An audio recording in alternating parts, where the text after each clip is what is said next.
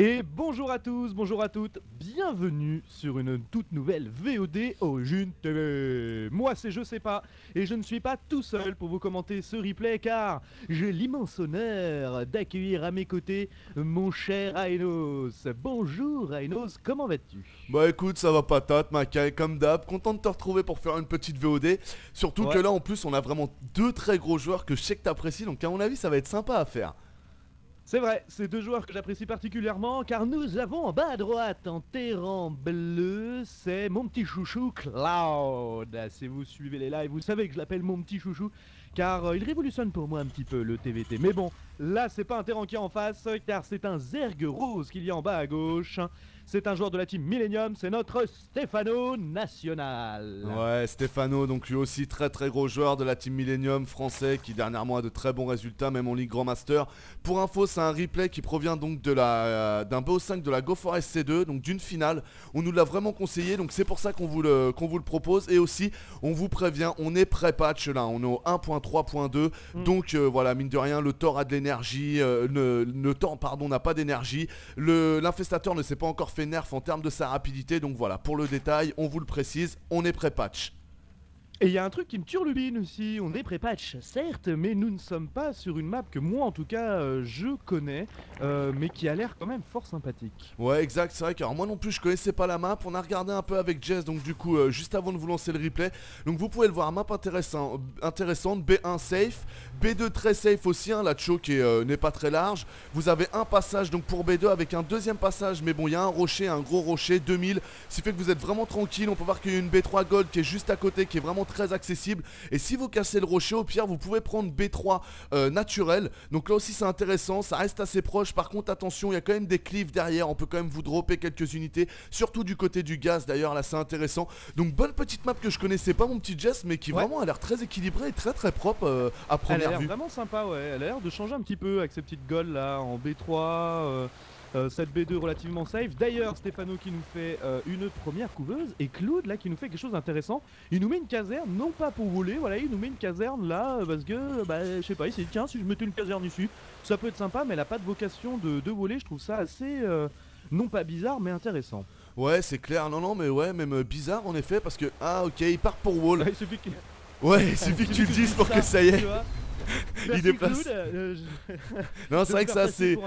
Ouais, c'est assez étrange parce que normalement, quand on voit ça, mes amis, hein, souvent le gaz n'est pas pris, il y a une fast expand donc euh, par derrière et donc la personne wall après avec le reste de ses baraquements. Alors que là, vous pouvez le voir, ça part plus 1-1-1, du moins ça part pour l'instant euh, baraquement factory par derrière. Donc en effet, Jess, ouais, c'est vrai que moi aussi je suis assez étonné. Et quoi que là, tu peux voir, ça y est, il vient de lancer sa B2. Ah ouais. Donc en fait, intéressant quoi, c'est.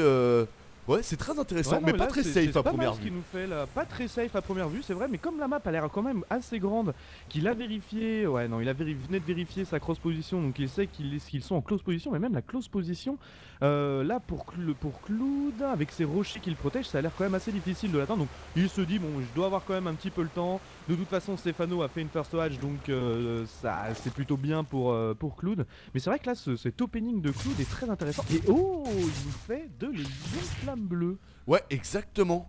Exactement, j'étais en train de suivre le petit worker, voilà. Mais en effet, on a des lions flammes bleues qui part par derrière. Alors regardons un peu son gaz, il tourne toujours sur un Rax, donc à première vue il n'y a pas de deuxième usine qui a l'air d'être popée, il nous fait quelques Marines, donc ouais on va voir ce que ça donne. À dire vrai Makai, c'est rare de voir, euh, dernièrement quand je vois des éons flammes bleues, moi je vois deux usines, une avec un Laptec qui lance le flamme Mhm. bleu et la deuxième c'est qu'on voit des élions. Et là c'est ouais. BO intéressant parce qu'en effet, euh, ouais, il- juste une usine, il envoie le flamme bleu. Ah, il a quelques Marines, les Green qui viennent de scouter. Est-ce qu'ils ont vu grand chose À mon avis, ils ont pas vu la Ouais, B2. Ça Si, m'étonnerait. hein. si, si, il a vu. Ils ont vu la B2 Ouais, il a vu la sais qu'en fait- B2. mais c'est pas qu'en face il y a des tourmenteurs. Non, Quand on regarde la Stefano dans sa base, bon il a quand même deux aiguillons rampants donc ça c'est plutôt pas mal pour protéger son entrée mais les, les, euh, les tourmenteurs vont pouvoir euh, rentrer rapidement dans la base, aller au niveau euh, de la B1 par exemple de Stefano et commencer à cramouiller un petit peu tout ça. Donc là il faut que Stefano se méfie vraiment et euh, il a pas pu euh, scouter, il a pas pu euh, scouter la tech de, de Cloud qui pourrait là si elle est bien utilisée être dévastatrice surtout que là il part avec ses trois tourmenteurs. ouais, exactement. Et surtout tu vois, j'étais en train de jeter un petit coup d'œil sur ces Overlords. On peut voir qu'il y en a un en haut à droite, mais qui va pas arriver tout de suite. Et il y en a pas en bas à gauche. Donc en effet, il a pas pu scouter la tech, il a pas wall. On a les trois Élions là qui vont arriver dans la ligne A. Si, regarde, il commence à wall. Il a mis quoi? C'est un petit champ d'évolution. Et mine de rien, les Élions, t'as vu là, il en a perdu un cash. Il s'est pris une belle petite Mhm. claque, je trouve, là, notre ami Cloud. Ah ouais ouais et en plus il y avait la Queen qui bloquait, donc là c'est plutôt intéressant.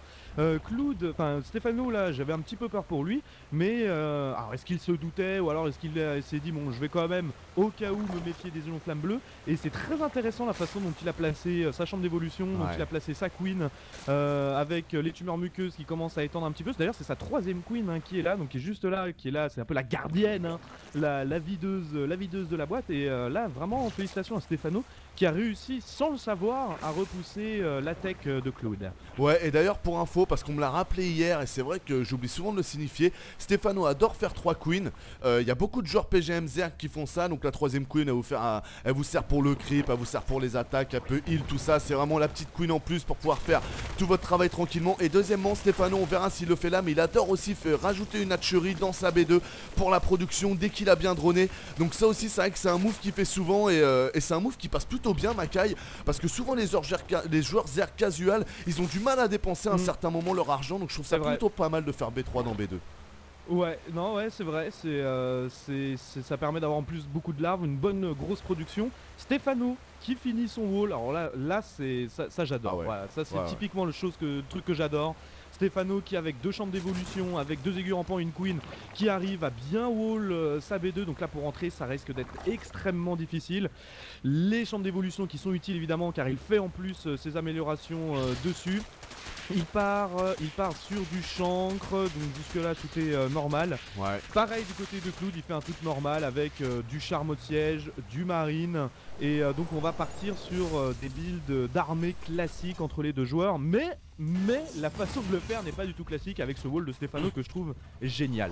Ouais, exactement, mais c'est vrai que t'as bien raison, hein, c'est du classique. Hein. Dernièrement, on a vu aussi d'autres compos d'armée, Klinga Festateur par exemple, ça marche aussi très très bien. Et c'est vrai que bah là, non, on peut voir que Stefano il prend le choix de faire Muta, Gling, Banning. Donc en face Cloud, il prend le choix de faire Marine Stank. Donc euh, avec quelques Medivac, j'ai quand même l'impression, voilà, ce qui est très important. Donc c'est vrai que ouais, là on se positionne sur, euh, sur du classique. On va voir la micro des deux joueurs, on va voir comment ça va se passer. Euh, sachant que c'est quand même deux très gros joueurs. Hein, parce que Cloud il envoie du ah, pâté. Stéphano aussi. Hein, donc, euh... bah, Stéphano là il commence vraiment à être bon. Là il commence vraiment à faire parler de lui. On a souvent parlé de lui. Bah, c'est euh, le, le, génie de StarCraft 2 entre guillemets. Celui qui a vraiment des, grosses capacités. Et là ça va être la première attaque de Cloud. Pendant que je finissais ma phrase, je vais pas finir ma phrase car Cloud commence à avancer sur Stéphano. Stéphano qui allait poser euh, sa B3. Pour l'instant il voit que. Oh, il voyait que les deux tourmenteurs. Mais là il y a des chars qui commencent à attaquer. Donc il devrait annuler. Voilà. Il vient de l'annuler euh, sa hatchery. Et euh, là, du coup, il va mettre, euh, il est en, il assiège Stéphano. Stéphano qui commence ses premiers euh, chancres et regarde, comme tu l'as dit, il se met une deuxième couveuse au niveau de sa B2. Voilà, exactement. Et ça, c'est un move qui lui est vraiment très très propre. Là, c'est parti. On a les mutas qui vont essayer de se faire quelques tanks. Mais voilà, les marines sont très bien positionnés. Donc, du coup, les mutas qui back. Mais c'est bien, ça, c'est le genre de petit move qui sert pas à grand chose. Mais regardez, comme vous disait Jess, il est en train tranquillement de faire ses bannings. Et les bannings, ça prend du temps, mine de rien à faire. Mais les tanks, ça met aussi du temps à se positionner. Et regarde, il, en profite pour finir les rochers avec ses mutas le temps que ça avance, je trouve ça pas mal. Ce que je voulais dire. Il a cassé les rochers, du coup il va poser sa B3 à côté. Et euh, c'est pas une save pour lui, il va repartir avec ses mutas, il va peut-être se faire un char. Et on a le push. Qui vont arriver derrière. Attention les champs Oh joli euh, Génie d'armée de la part de Cloud là, mais Stefano qui a quand même détruit pas mal de chars. Du coup, euh, ça va lui donner un petit peu, euh, un petit peu d'air, mais il, il manque un petit peu de Zergling Benning, il est en train d'en produire. Donc il faut qu'il arrive à retenir Cloud devant chez lui avant qu'il rentre et qu'il détruise. Ouais, exactement. Là, vraiment le défaut de Stefano, c'est qu'il peut pas prendre bien de la fight. Il est obligé de la prendre en frontale, de descendre d'une petite choke et d'aller à fond. Donc ça, c'est pas bon. Là, par contre, on a Cloud qui s'est peut-être un peu trop avancé. Donc là, il risque de le payer très, très, très, très cher. Et c'est parti, Stefano. Regardez comme c'est bien joué. Les temps qui sont plus là, il reste quelques marines. Je pense qu'ils vont survivre parce les Medivac, voilà, ça reste quand même des Marines de compétition qui sont vraiment costauds. Et ça y est, et regarde, il met un gros coup de heal par derrière. Et j'ai l'impression, ah ouais, regarde, il y a les mutas qui sont en train de se ah positionner au-dessus de la B2. Et je pense que là, Cloud, il a peur voilà, il a eu peur de, perdre quelques, quelques drones parce qu'on peut le voir quand même dans la base de Cloud. Il y a juste une tourelle au niveau de la B1. Donc là, euh, les mutas, s'ils partent faire un race, euh, c'est tout bénef. Bah là, les mutas, c'est très bien joué par Stéphano. Parce que là, les mutas ne servaient à rien sur le front de devant. Les mutas, il les avait placés de sorte à intercepter les renforts de Cloud. Euh, pendant la baston, j'avais, euh, j'ai remarqué ça, euh, j'ai remarqué ça d'un œil. C'est-à-dire les mutas étaient très bien placés. Il y avait quelques marines qui y sont passés, peut-être même un, char. J'ai pas dû, j'ai pas bien fait gaffe. Et du coup, Stefano qui a réussi à écarter la menace de Cloud, qui a réussi à poser sa B3, donc il garde sa base d'avance. Donc Cloud, malgré que qu'il ait fait vraiment un joli move là, en étant agressif comme ça, en avançant sur Stefano, qu'il a fait un petit peu de dégâts, mais pas tant que ça au final. là, Stefano s'en est très très bien sorti. Ouais, c'est clair, surtout quand ça sort des, bâtiments comme ça, c'est en mode move, hein, c'est pas en mode attaque. Donc si vous regardez pas et si vous prêtez pas attention, c'est vrai qu'on peut perdre beaucoup de marines, c'est beaucoup de temps cassé bêtement, parce qu'on reste focus sur le fait qu'on veut faire des dégâts sur la B2. Donc c'est très très bien joué. D'ailleurs, pour la petite histoire, c'est un move aussi à appliquer quand vous mangez un Marine King. N'hésitez surtout pas si vous arrivez à sortir vos glings, à aller, euh, à aller euh, attraper les renforcements. Euh, ça fait qu'au final, vous êtes vraiment tranquille et vous avez plus qu'à vous débarrasser de ce qui se passe devant vous, surtout si le bunker a été posé. Stefano qui commence vite fait à poser son jeu, on fait un petit point comme vite fait. On peut voir que les deux joueurs ils se collent plutôt bien parce qu'il y a B3 Gold de là qui va être posé de la part de Cloud, les mutas qui viennent un peu empêcher ça, la B3 qui devrait se poser dans 3, 2, 1. Voilà, B3 qui est posé tranquillement sur Gold, les Mines qui sont en train de récupérer la vie, un petit hit and run là de la part des mutas. Et là on a une fight qui va être prise ici très peu de temps et même maintenant regarde les temps qui viennent tout juste de passer en mode siège. Oh il s'en sort pas mal le terrain.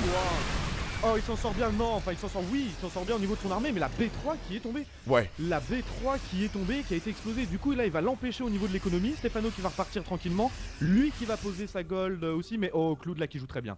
Cloud qui joue très bien. Il se dit, je vais contre-attaquer tout de suite. C'est ce qu'il faut faire avant que euh, Stefano se refasse trop de bennings. Même si ça va être trop tard. Là, les bennings commencent à arriver. Cloud arrive. Il va poser ses chars en mode siège. Il va empêcher cette gold une nouvelle fois de se poser. Et euh, bah là, la tendance s'est inversée en étant Stefano qui était agressif. Maintenant, c'est Cloud qui revient et qui repart. Eh, c'est super bien joué. Ouais, c'est super bien joué Ouais. d'ailleurs. C'est le style à Stefano, c'est un, Un drop, Stefano à... Un drop en haut. Oh, un bien drop vu. en haut au niveau de la B3, Stefano. Euh, donc euh, le drop qui a dû un petit peu perturber Stefano, pas trop de dégâts faits non plus. Les mutalistes qui vont en finir, le medivac plein qui a été détruit, Stefano qui va repartir à l'attaque. Il attendait peut-être d'avoir quelques chars de siège en plus, mais là Stefano il a quand même beaucoup là, il a de quoi se défendre. Ouais, très bien joué de la part de Claude hein, d'avoir détruit le bâtiment et d'être revenu. Stéphano, il adore faire ça. Et là, on a une fight qui risque d'être reprise. Est-ce qu'il va y aller, Stéphano? Non. Il se tâte un peu. Il envoie d'abord ses mutas. Oh, c'est bien joué. Dès qu'il voit un Marines qui- qui traîne. Il envoie ses mutas pour le tuer, il a Mm. vraiment une micro ce mec, il voit tout quoi. C'est vraiment très très très impressionnant. Stéphano qui reste devant sa B2 tranquillement. La B3 qui tourne, Stéphano qui a un très bon map control, donc à première vue les drops ça paraît assez difficile là de la part de Cloud, même si dans son positionnement il pourrait se permettre, ils sont en close position, il a pas besoin de faire 40 fois le tour de la map, et notre ami Cloud qui vient d'attirer là euh, tous les glings au niveau des tanks, et regardez hop il les laisse s'écraser au niveau des tanks, il a fait toute une ligne, ça c'est bien joué, on peut pas faire mieux en terrain, il y a pas mal de marines qui viennent de se faire avoir, il continue à back, il y a de moins en moins de banning, là il y a plus de banning et là c'est bien joué, voilà là par contre il va pouvoir finir les mutas, mais il y a des glings qui ont été refaits, et t'as vu il commence à enterrer ses glings s'il nous fait. Et c'est des bannings. Regarde la trappe banning. Oh ça va être pas mal. Oh s'il va dessus. Oh il va les attirer. Regarde il fait exprès de passer Oh Oh c'est super bien joué.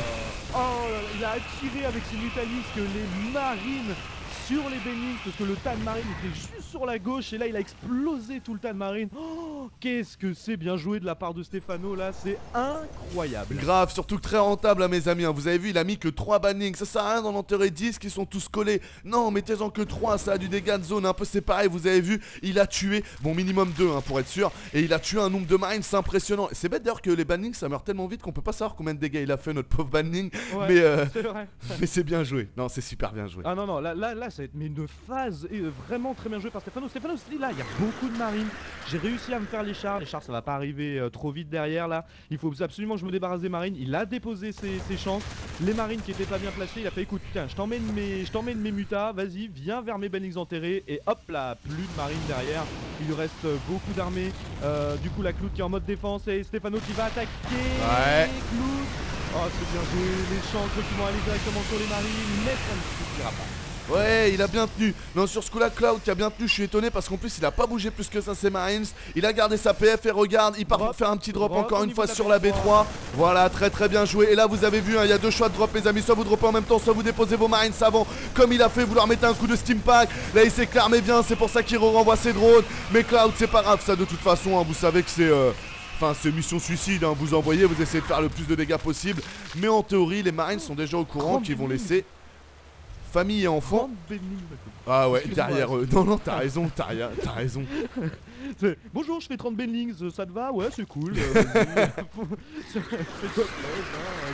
Stéphano, t'as du gaz à dépenser, bah fais des Benlings. Ouais, c'est clair, c'est clair. Stéphano qui contrôle très très bien sa game. Au niveau du cryptumeur, par contre, il s'est bien fait, euh, il s'est bien fait retarder. Ça, c'est pas mal. Et d'ailleurs, tu vois, j'étais juste devant là, la cryptu, la tumeur. Au lieu de l'envoyer à droite, il l'a envoyé en bas.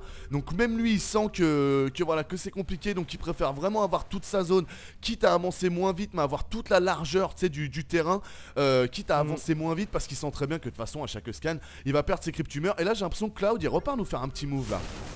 Ouais, ouais, il a envie de repartir là, il a envie d'être agressif. Il a 3 chars seulement, mais beaucoup de marines derrière. Pas mal de Medivac. Il va avancer petit à d'attaque. petit. Plus 3 d'attaque, ah oui Ouais, ça, ça plus fait mal, hein. Ouh, ça, ça va faire très très mal. Que Stéphano gère au niveau de la micro, surtout avec ses bendings et les marines, car on a vu que Cloud arrivait très bien à splitter euh, les marines pendant la baston, et c'est ça ce qui est vraiment difficile hein, quand on joue en TVZ, que ce soit pour le terrain ou pour le, zer- le Zerg, c'est de splitter les, les bendings sur les marines, les marines les splitter aussi pour éviter qu'elles crament. Attention là Le spin pack qui est lancé par Cloud, euh, Stéphano qui hésite à y aller, et Cloud qui va avancer petit à petit, tel un terrain normal quoi, il va avancer petit à petit en avançant ses chars. Exactement, il fait exactement bah, ce que je devrais faire plus souvent, hein, le petit scan, il y a rien, bon, on envoie ses marines, on nettoie les cryptumeurs, et voilà, et dès que les unités arrivent, on revient derrière la ligne des tanks euh, pour être protégé, c'est exactement le, le, le move classique qu'il faut faire, on va quand même faire un petit point income là, parce qu'il est en train de vraiment prendre l'avantage notre ami Stefano, on est à 2000 Ouais. contre 1100, euh, il commence à avoir beaucoup de B, vous pouvez voir qu'en haut là, il commence aussi à poser carrément sa B5 sur une gold encore, il y a beaucoup de gold, Ouais, sur une gold, ouais. donc... il y a, il y a pas mal de petites gold en fait, donc c'est vrai que ça peut aller vite.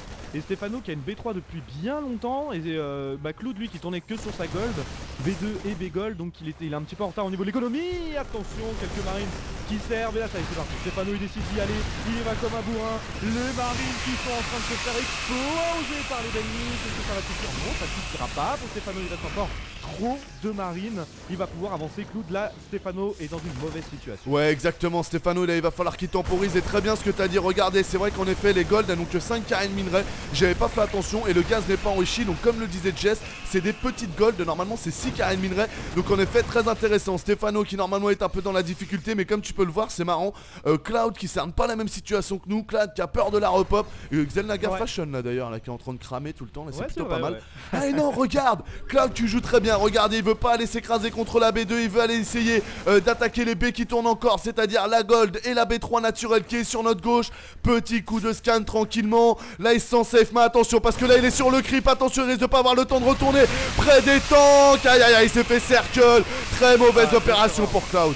Ouais, grosse grosse erreur de Cloud là, Kaylon a un petit peu trop ses marines là. Il a un petit peu trop fanfaronné, mais si Cloud, il a vraiment trop donné ses marines de cette char là, il a pas eu le temps de baquer. Joli circle aussi de Stéphano, ce c'est pas le tout hein, de, de voir l'erreur de l'adversaire, faut aussi savoir Ouais, l'en le- profiter, c'est clair. Et euh, là, Stéphano, on l'a parfaitement bien exploité en circle, en faisant un magnifique circle des marines, en les explosant tous. Du coup, là, il a reculé totalement Claude, il renverse la situation malgré qu'il était vraiment dans une situation difficile. Et mine de rien, il a perdu quoi? Sa petite gold, il en a une qui te retourne au-dessus, c'est parfait pour lui. Ouais, c'est clair, si on continue à faire un petit point income, on peut voir qu'il est encore une fois largement devant. Alors que notre ami Terrané, il tourne plus du tout sur sa B1, il tourne plus du tout sur sa B2, il prend juste le gaz, il a sa B3 gold qui va bientôt être fini. On vous le rappelle, il y a que 4 carrés de minerais, 5 en tout, donc c'est pas exceptionnel. Et là, il a sa B1, 2, 3, 4 qui est en train de tourner en haut à droite là, avec sa PF, mais au final, donc il ne tourne que sur une base, notre ami Cloud. Donc Cloud qui est vraiment dans la difficulté. Oh Et Cloud, là, t'as vu, il est en train de tout charger, ouais. Méga drop de la part de Cloud. Méga drop, ouais, ouais, ouais. C'est risqué, sort, ça, hein. Des marines, des chars, ça c'est super risqué parce que si les. Oh si les Et il y a un muta. Ils s'en rendent compte, oh, ils se sont pas rendus compte. Et regarde sur la petite cliff, hein, c'est bien joué. Il va les mettre sur la petite cliff tranquille. Les marines qui vont s'occuper des mutas s'ils arrivent. Il y a en plus un tort, du coup là. Oh, c'est- Ah, ça, c'est très bien joué. Ah, ça c'est ce qu'il fait là. Euh, le fait de, de bloquer totalement l'économie de, de Stéphano, c'est ce qu'il faut qu'il fasse. Regarde, il y a des zerglings là qui sont donnés gratuitement par Stéphano, c'est vraiment dommage. Les mutalisques qui vont arriver, est-ce que ça va suffire? Oui, Ouais. les mutalisques vont largement suffire. Ouais ouais belle petite Magix Box là de la part de Stefano Comme tu l'as dit en effet là j'ai pas compris pourquoi est-ce qu'il avait ramené euh, tous ces glings et ces bannings Ça servait pas à grand chose à part pour prendre des coups gratuits Ou alors peut-être qu'il espérait que les Marines perdent un peu de DPS Oh il y avait un drop aussi juste au-dessus de la gold Drop qui va vite se faire annihiler mais je pense qu'il a réussi à faire un peu de dégâts là parce que ça avait l'air. À mon avis, Stefano a dû annuler euh, sa B43-32 comme tu dirais là en haut à gauche et la relancer tout de suite après. Mais, mais en effet, là, bon, bon move. Mais ouais, moi non plus, j'ai pas compris pourquoi est-ce qu'il avait envoyé ses glings. En attendant, il prend la Xelnaga. Il a toujours l'avantage économique. Il est toujours bien il l'avantage de l'armée, hein. il, est, il est à 128 de pop contre 113, la Cloud il a commencé à, on sent qu'il commence à avoir du mal à produire des marines derrière, il en a plus beaucoup, il y a quelques chars aussi, il n'y a que 3 ou 4, attention Stefano qui passe, qui avance, il Oh là là, un petit tas là, Zergin Benning qui ont été donnés. Ouais, belle micro. Bien fait hein, par, par Cloud. Ah hein, ouais, tout à fait d'accord. par Cloud qui a réussi à tout reculer. Là, cette fois-ci, c'est pas fait avoir en se faisant circle. Mais là, euh, je disais que Cloud avait du mal au niveau de la production. En fait, j'ai rien dit. Euh, comme il en a pas perdu sur ce move là, c'est plutôt Stefano qui en a perdu énormément. Et du coup, euh, là, il faut que Cloud absolument qu'il se refasse au niveau de l'économie. Hein, depuis tout à l'heure, depuis le début presque, Stefano est devant l'économie. Donc lui, il peut à la limite plus se permettre de perdre un peu plus d'unités que lui. Et oh, des petits bendings enfoncés. T'as vu mmh, Ça sent bon, ça sent très, très bon. Ça c'est très bien joué en plus près de la Xenaga et vous pouvez voir dès que ça clignote trop, ça veut dire qu'il les sélectionne. Donc il est à fond dessus, hein. il, a le coup d'œil dessus, il attend juste que les Marines arrivent. Euh, et, à mon avis ça risque de faire mal. les Terrans font rarement des Raven. Oh, Même si là le scan il l'a oh, vu. Ouais il l'a vu, il va voir. Il il l'a vu. Et il va se les faire, regarde. Ouais, ouais, ouais, bien joué. C'est bien joué ça. Bien joué. Oh là là, le scan, pile poil. Pour revenir sur un côté un peu plus technique là que je trouve très bien joué sur Cloud, vous l'avez vu par exemple sur la dernière attaque Cloud, il, il, vraiment il fait partir ses Marines au dernier moment, il sert de ses Marines pour aussi tirer sur les bannings et dès que les bannings sont vraiment trop près des Marines, là il les back. C'est très très important de faire ça, hein. faut pas que le DPS des tanks, faut aussi le DPS des Marines. Donc je voulais le souligner, notre ami Cloud qui a... Ah non Oh il a bien joué hein Oh ça a été mais ça s'est joué un de Oh mon dieu Alors là, ça aurait fait un massacre. sur la Cloud est clairement en train de revenir dans la partie. Il a plus. Ouais. J'allais dire qu'il a plus assez de bannings, mais là, il est en train, il est en train d'en refaire 31. Et euh, il avait plus assez de bannings là.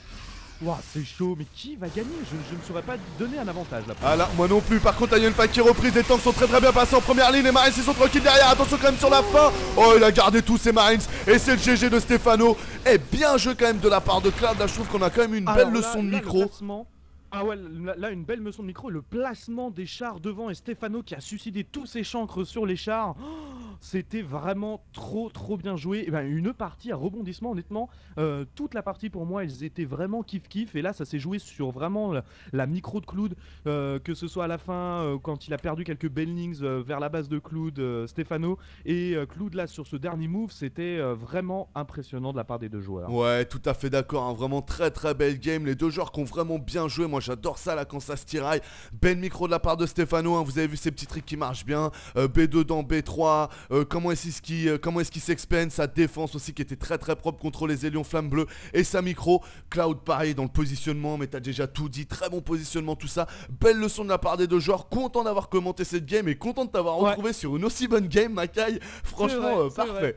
Je pense que là, pour une game de retrouvailles, entre guillemets, on n'aura pas, on aurait pu difficilement avoir mieux. Sur ce, clair. je vous souhaite, euh, je vous souhaite euh, eh bien, de revenir bientôt pour une nouvelle VOD Origine TV et bien évidemment sur nos lives. Merci beaucoup Ainos. Ouais. À plus tard. À plus, ciao tout le monde, gros bisous, ciao ciao.